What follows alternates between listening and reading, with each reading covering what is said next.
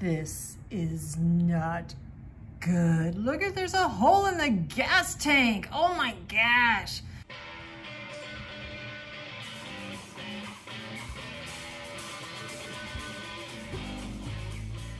Hey y'all, thanks for tuning back into Chickanic. I hope everybody's having a great week. I am super excited today because today we are back in the shop and I am talking Walbro. But before we get into the video, if you are a fan of saving time, money, and frustration while fixing your own small engine equipment with in-depth tutorials, well, you have come to the right place because that's what I do.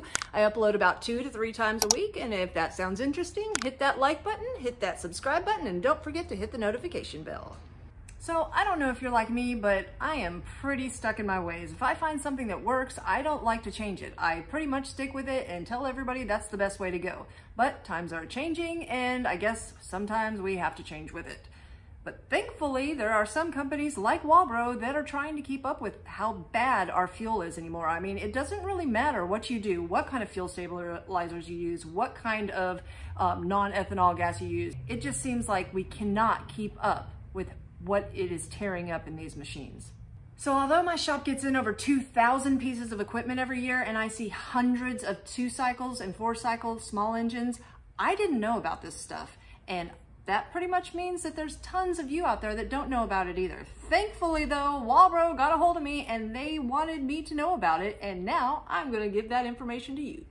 Now, if you have tore apart a few small engines in your lifetime, you have definitely come across a Walbro carburetor.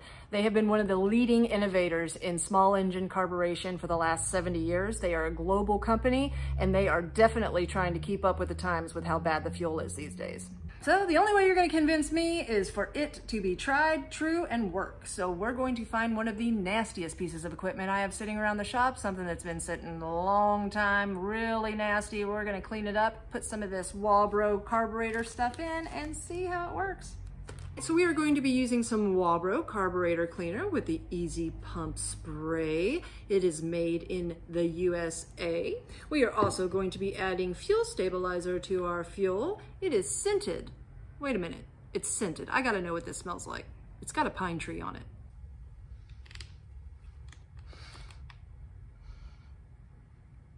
That smells like men's aftershave. Um, so obviously if you spill a little on you, don't worry about it because you're good to go. All right, let's start breaking some of this open. So to combat how bad the fuel is on all of your rubber components, Walbro came out with new primer bulbs. Um, it's got this black polymer primer um, that I guess lasts longer and is supposed to, you know, be great in helping the longevity of your priming system. So let's open these up and check them out. Um, for the old one that's on all the uh, the old Walbro stuff, it is a part number 188566 on the push-in primer bulb with the two prongs, the suck and blow, you know. Um, this goes on tons of stuff. I mean, I even put it on stuff that it's not supposed to. I, will put it on a Stihl backpack blower. I don't care. Um, the part number for that one is a 188-570-1. And it's just like the old ones. It's just got a way better, I mean, it feels like really good rubber instead of that hard plastic. Let me get one of those out so you can see the difference. I've got two different ones here actually. This one probably came with some carburetor order, but that's hard and you can just tell that thing's going to to blow as soon as it sits for a year. This one, this is what I use all the time that I get from Walbro. And it's a hard plastic. It's nothing like this nice rubber feeling one though. I mean, it's totally, I, I, mean, ugh, yeah, this one pumps way easier. So I'm imagining that this tiny one is just the same. So that's awesome. Okay. Walbro also sent a bunch of spark plugs. So I'm going to use this in uh, the unit that we'll be working on. But the most awesome thing is the new spiral diaphragm, metering diaphragm for the carburetors. So this is my first time ever using this. And I'm gonna go ahead and open this one kit for you so you can see what's inside comes with a new um, meter to tell your uh, clearance on your needle pin, needle lever pin. And it comes with instructions. And this is supposed to be the last metering diaphragm you'll ever have to use. So let's open this thing up and check it out. So it comes like this with this little piece of cardboard on because you actually, whenever you go to put it in, and I'll show you when we're on the carburetor, you actually mount everything together, put your screws in, and then you're gonna pull this cardboard piece out to keep it all together. But I'm gonna go ahead and tear this one apart just so you can see what's inside. I'm gonna take that off. It's got a gasket, and then it's got like a well, that's different. It's like a weird drum piece. That, that's pretty neat. I'm not even sure what that is, but that membrane is, is really, really different. Wow. Next, it has the spiral metering piece that actually has this really light spring inside and it's supposed to last a lifetime and then another gasket for the other side. So that is cool. So without further ado, let me go find something really nasty and throw it up here on the bench. All right, Toby, you gonna be in the shot? You gonna say hello to everybody? This is Toby, our shop kitty, and he is spoiled rotten. Okay, come on, scoot, scoot. All right, so I've pulled out one of the nastiest pieces of equipment I have sitting around the shop. I mean, it's an auger. You only use augers every once in a while, and it's something that I just am like, I'll just fix it when I need to use it again. But once you see inside this tank, you're going to just be shocked. You can only imagine what the carburetor looks like. So I have my little light here that people were asking me about from my, one of my last videos, and I actually, it's really cool. You can move it any way you want. It's super, super bright. I got it at the Dollar Tree for one buck. So I highly recommend getting one of these because they're super awesome. But we're going to use it so I can show you exactly what this tank looks like inside. Ew. That's gross. Now that end down there is completely full of goo. So we're gonna have to probably clean this out pretty good. So I'm just gonna go ahead and pop this carburetor off real quick. Things just got worse. This is not good. Look at there's a hole in the gas tank. Oh my gosh. Well, I'm still rolling with it and I'll figure out something else about a gas tank in a bit. All right, so we got the carburetor off. Let's get into it and see what's going on inside.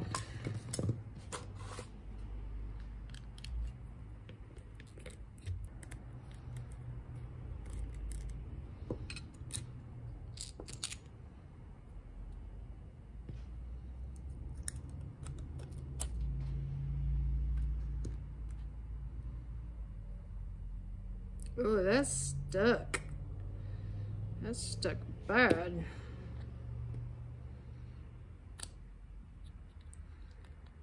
That's hard. And it stinks. You can hear it. You should not be able to hear a metering diaphragm like that. So yeah, you know that that one's bad. All right, so we've got a K20 WYL kit. We are going to go ahead and change out um, these gaskets and the screen. And actually it looks pretty good inside. I am going to use the Walbro carburetor cleaner to give this a good spray down, get this needle out of here, and uh, we might be able to just throw it back together with these new parts and see what it does get this needle out of here.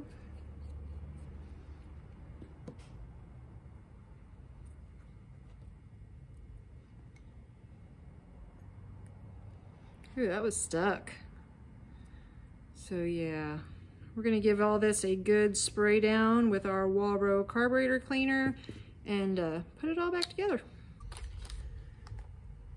All right, we're going to pull out the new new pieces out of our K20WYL, but really all we need is the needle and because we're switching out the lever and these two gaskets. So you can actually get individually, but I just keep it as a whole kit, the K20WYL.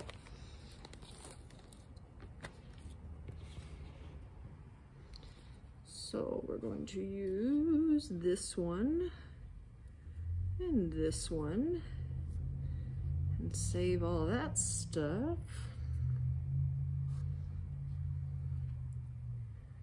Put our new needle in.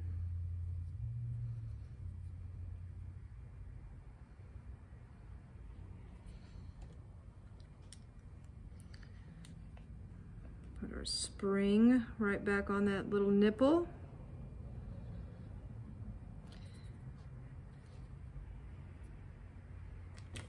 I'm gonna open up this new kit with the new spiral metering diaphragm.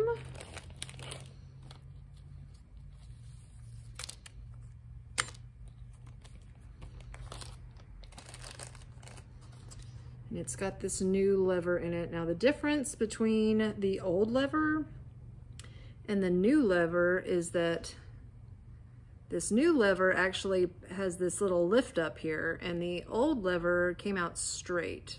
So that's different. So we're going to get our lever pin, put it through our new lever.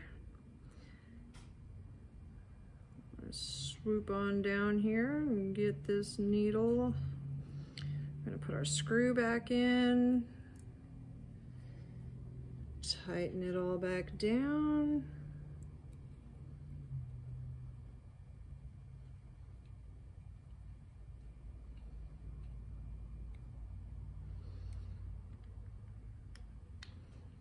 Wow, that's just crazy looking. And that looks good. Now we're gonna go ahead and use our new gauge here and see, and it's supposed to, as you come over it, just barely hit, hit the top of that. So I think that it's actually up a little too high. Now the majority of ones I get in, you barely have to do anything to them. Yeah, that would probably leave the gas open all the time. So to adjust it, I'm gonna push down on this side as I push down over here because it is up just a little too high. So let's hold that side down as I push this just a little bit. All right, let's try it again.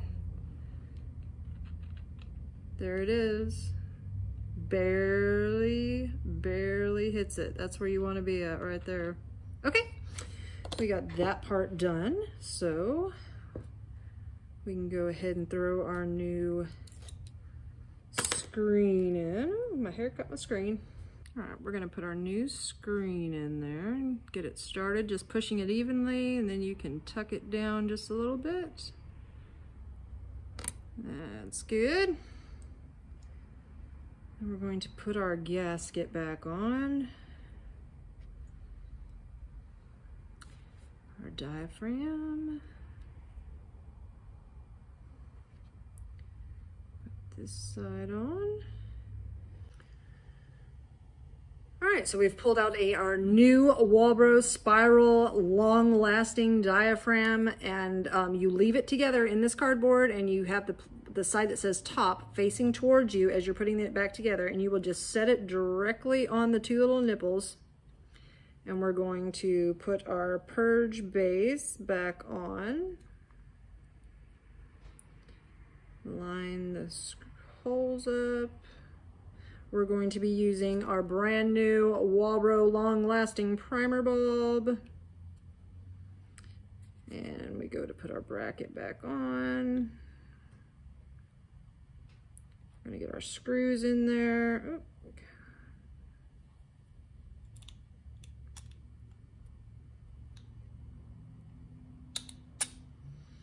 We're gonna get them started.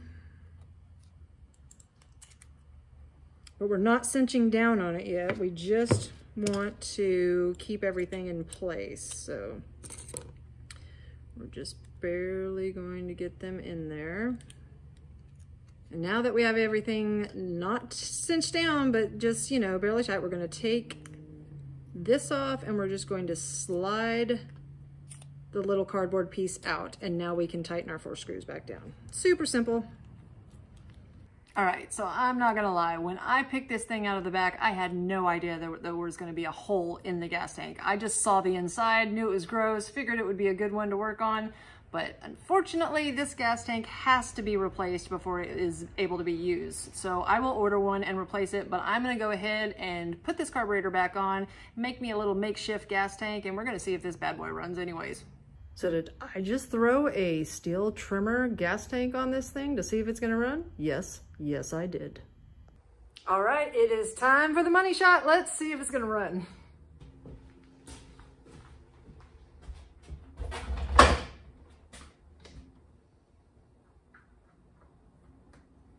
Prime's good. Kill button's right there. It's turned on. Let's go.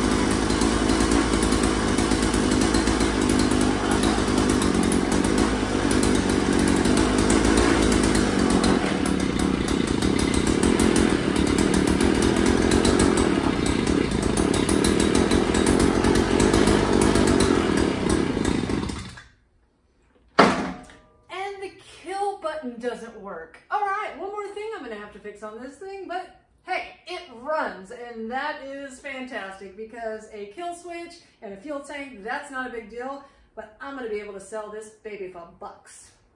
Well, thanks again for tuning into Chickanic. If you found this video helpful, please give me a like and a subscribe. If you haven't found us on Facebook yet, find us at facebook.com slash Chickanic or Chickanic.com or on Instagram as The Real Chickanic where you will see things that I do not post anywhere else.